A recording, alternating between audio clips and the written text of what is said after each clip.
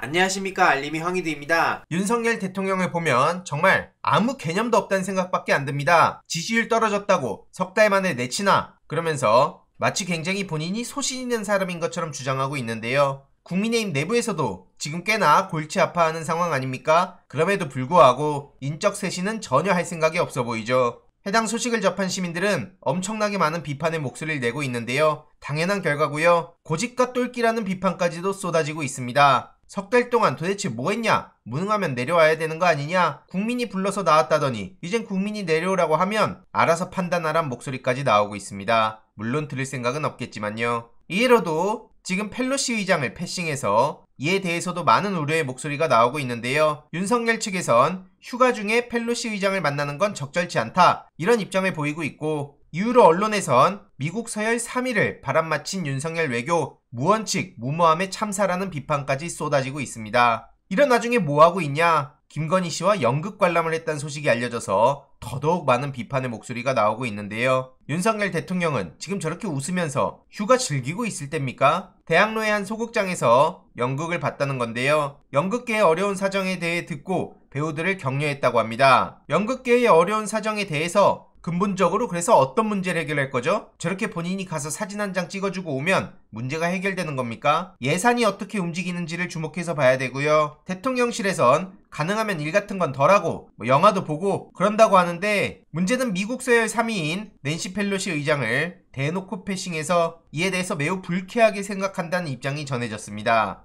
유승민 씨도 이에 대해서 따끔하게 지적을 했는데요. 휴가 중이라 안 만난다는 건 이유가 될 수 없다. 연극 뒤풀이까지 하면서 안 만난다는 걸 어떻게 생각해야 되냐? 이렇게 꼬집은 거죠. 이후로 언론을 통해 계속해서 보도가 되고 있고요. 해당 소식을 접한 시민들은 한심하단 반응을 보이고 있습니다. 넌 떠들어라. 난 그냥 왕노릇 하겠다. 그냥 즐길란다. 이렇게밖에 안 보인단 거고요. 미국 의전사열 3위가 직접 방한했는데 연극이나 보고 있다? 도대체 뭐 하는 사람인지 모르겠다는 반응도 계속해서 커져가고 있습니다. 이외로도 어젯밤 용산청사 설계감리 김건희 후원업체가 건진법사 관련 재단에 1억을 냈다는 단독 보도가 터졌는데요. 오마이뉴스 조선의 기자가 굉장히 중요한 단독 보도를 계속해서 터뜨리고 있죠. 연민복지재단 다들 기억하실 겁니다. 이 히림이란 곳에서 건진과 관련된 사회복지재단에 무려 1억을 출연했던 건데요. 건진법사는 지난 대선 당시 그 논란의 네트워크 본부에서 활동했고 윤석열 후보의 어깨와 등을 툭툭 치면서 실세가 누구냐 이런 의구심까지 많이 불러일으킨 인물입니다. 최근 법사주의보까지 발령됐었죠. 김건희의 영향력과는 별개라고 해명을 했지만 여기에 대해서 납득한다는 반응은 거의 안 보이고요. 수상하게 생각할 수밖에 없는 이유들도 계속해서 쏟아지고 있죠. 연민복지재단에 얽혀있는 멤버들이 합리적 의심을 불러일으킨다는 얘기고요. 이에 대해서도 역시나 많은 시민들은 해명을 납득할 수가 없고 이 나라가 통째로 사이비 무속인에게 넘어가고 있다 이런 우려의 목소리까지 나오고 있습니다. 이외로도 대통령실 인사내정자도 과거 김건희 10년지기와 행사 활동을 했던 인물로 알려져서 논란이 커졌는데요.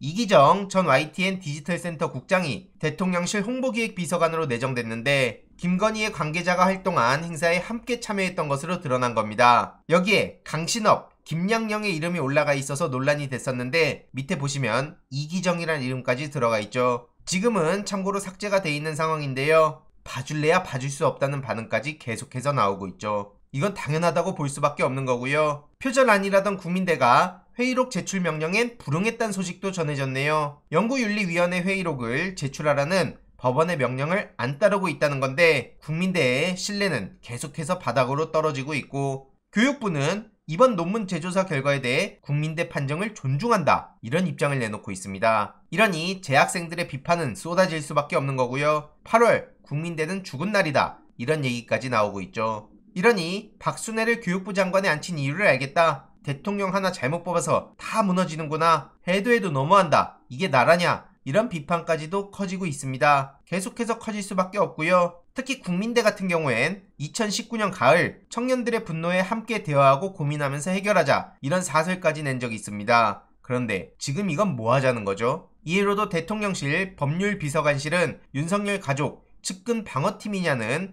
합리적 의심을 하는 보도까지 나오고 있습니다. 실제로 윤석열 장모 법률 대리인이 법률비서관실의 행정관으로 근무하고 제보사주 프레임 만든 변호사도 마찬가지로 법률비서관실에 있고 주진우 비서관은 경성 캠프 때부터 김건희 윤석열 장모 대응에 나서왔죠. 이에 대해서 역시나 사적 관계로 채용된 건 아니다. 이런 입장을 보이고 있는데 이미 많은 국민들의 신뢰가 바닥을 치고 있다고 보고요. 이런 황당한 소식들이 계속 쏟아지는데 간략하게 계속 요약해서 전해드리도록 하겠습니다. 이번 내용도 유익했다면 구독, 좋아요, 알림 설정, 멤버십 가입 정말 큰 힘이 된다는 점 말씀드리고 싶습니다. 이번 내용도 주위에 널리 공유 부탁드립니다.